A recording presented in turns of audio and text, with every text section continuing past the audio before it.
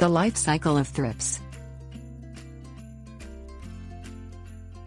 Thrips, commonly known as thunderflies or thunderbugs, are tiny insects that range in length from 1 25th of an inch to 1 8th of an inch. They have short antennae and short legs. Usually black, yellow or brown, they may have red, black or white markings. Some have wings. Within the US and Canada, there are 264 species of thrips, according to the University of Florida Entomology Department. Most feed on plants, but some are predators. Some thrips are considered pests while others are beneficial insects that eat mites, other insects, pollen and fungal spores.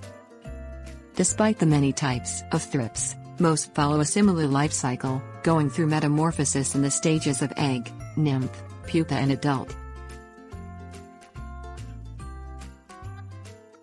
Egg The female thrip will deposit her eggs in the slits she creates in leaf tissues using her ovipositors. The eggs are kidney-shaped and large in comparison to the thrip. Each female thrip will lay 25 to 50 eggs, which will begin hatching in as few as two days, depending upon the species. Nymph A nymph emerges from each egg. The immature thrip looks like the adult. However, even in winged species, the nymph is wingless. The nymphs are more lightly colored than their adult counterparts. During this stage of development, the thrip is feeding and will molt at least twice, depending upon the species. Prepupa During the prepupa stage, the nymph's cuticle is separated from the hypodermis, but the cuticle is not yet cast off. During this stage the nymph does not eat and drops from its host plant to the soil or leaf debris below.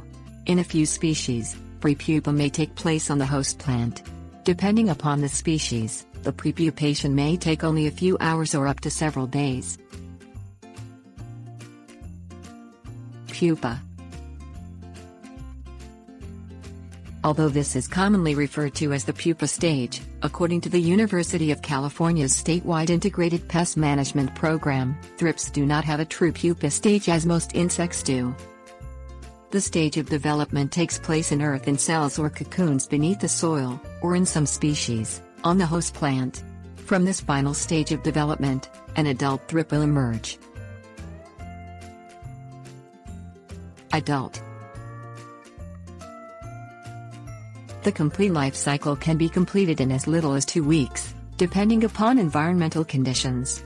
The cycle may repeat itself as often as eight times in one year, depending upon the species. In the adults, if the species includes males, the male thrip is usually smaller than the female. In some thrip species, parthenogenesis occurs. This means reproduction takes place without fertilization by a male. The adult thrips will feed by puncturing their host plant and sucking out the cells.